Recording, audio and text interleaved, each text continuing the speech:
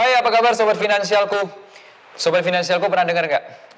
Bercandaan zaman dulu, waktu zaman saya kecil itu ada pernah ada yang orang bilang gini, kamu mau gak sih jadi orang kaya? Jawabannya enggak. Loh, kok nggak mau jadi orang kaya? Saya maunya jadi orang yang pas. Pas mau nikah ada dananya. Pas mau beli rumah ada uangnya. Pas mau beli mobil ada uangnya. Pas mau anak sekolah juga ada uangnya. Apakah sobat finansialku juga pengen pas gitu? Nah, kalau pengen tonton video ini sampai habis. Karena di video ini saya akan jelaskan mengenai tekniknya gimana. Pembahasan saya kali ini adalah ini dia. Piramida perencanaan keuangan dan cara memulainya. Sebelum saya ngobrol-ngobrol lebih lanjut, seperti biasa, sudah subscribe belum channel finansialku? Kalau belum, yuk langsung aja diklik tombol subscribe di kanan dan jangan lupa aktifkan bel atau loncengnya. Karena apa? Kita akan langsung kasih update terbaru tentang tips keuangan, tips investasi, insurance, dan lain sebagainya. Thank you teman-teman yang sudah subscribe channel finansialku. Yuk kita aja langsung mulai pembahasannya. Pertama banyak orang yang bilang tentang perencanaan keuangan. Sebenarnya perencanaan keuangan itu apa sih? Jadi gini, ibaratnya gini. Teman-teman pernah nggak sih mengendarai kendaraan, katakanlah mobil atau motor, tapi di luar kota, dan yang kita nggak tahu jalannya. Teman-teman pasti pakai yang namanya Maps kan? Google Maps lah, atau Waze, atau GPS lainnya. Pokoknya pakai panduan kan. Itu tujuannya apa sih? Atau apa sih yang kalian rasakan? Kenapa kalian butuh panduan seperti itu? Biasanya orang-orang, biasanya orang-orang pakai GPS itu tujuannya supaya nggak nyasar. Bener ya?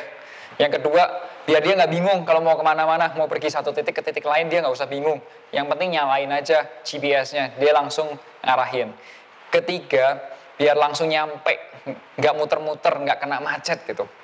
Nah, bagaimana dengan keuangan? Ada juga nggak sih strategi atau maps yang menunjukkan sekarang kalau saya pengen beli rumah, TP rumah, gimana strateginya supaya itu cepat nyampe-nya, cepat terwujudnya?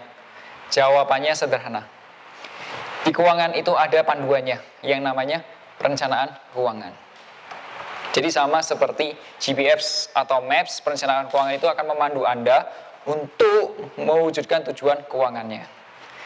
Nah, di perencanaan keuangan sendiri, apa aja sih yang dibahas? Ini nih piramidanya. Ada satu, dua, tiga, empat, dan lima. Di bagian pertama dari piramida ini, itu di nomor satu dan dua, ini, itu ada yang namanya keamanan finansial. Keamanan finansial itu artinya kebutuhan teman-teman, kebutuhan kalian dalam waktu 1 sampai 12 bulan ke depan itu tercukupi atau aman. Aman secara finansial, keamanan finansial. Di sini. Kedua, bagian 3 dan 4 itu namanya kenyamanan finansial. Artinya kebutuhan Anda dalam jangka panjang, katakanlah lebih dari setahun, itu mulai bisa terwujud. Oke, kita bahas detailnya. Yang pertama, bagian yang paling penting dan jadi pondasi paling dasar. Itu apa saja? Yang pertama ngobrolin tentang cash flow, anggaran, dana darurat, kredit. All the things semua tentang kredit atau pinjaman. Bagian kedua itu ngomongin tentang bagaimana cara kita mengelola risiko. Masih ingat kasusnya Andrew pada video pertama? Nah, di situ Andrew nggak punya yang namanya manajemen risiko. Dia harus utang untuk membiayai biaya berobatnya. Di bagian ketiga itu ada yang namanya pewujudan tujuan-tujuan keuangan. Di, di sini itu sudah mulai yang namanya mewujudkan untuk TP rumah, TP mobil, dana pendidikan, biaya pernikahan, dan lain sebagainya. Di sini kita butuh yang namanya kendaraan, yang disebut investasi. Di sini banyak ngobrolin tentang rencana investasi itu seperti apa. Dan di bagian keempat, itu ada yang namanya bagian untuk masa pensiun. Pensiun. Nah kalau orang pensiun itu cenderung mengubah penghasilan yang tadinya aktif income, artinya kerja waktu muda, kalau bisa waktu pensiun dia punya penghasilan yang sifatnya pasif.